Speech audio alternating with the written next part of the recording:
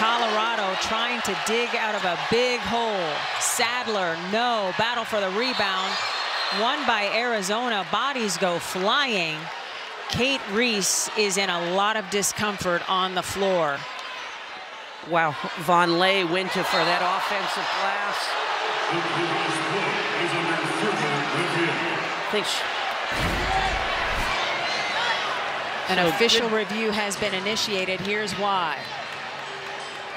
You know, I don't think it was anything intentional on Vonleh.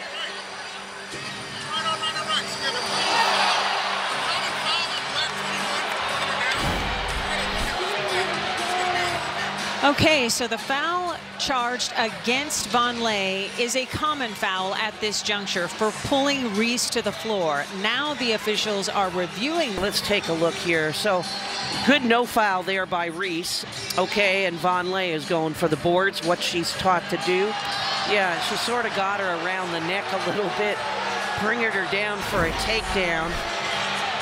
So that that's not good, but All right, so Aaronette Vonleh's day is done. She has been disqualified from the game. The officiating crew determining that it was such a violent takedown in nature that her day is done. yeah, you know, she's a good kid and a very good player, played here at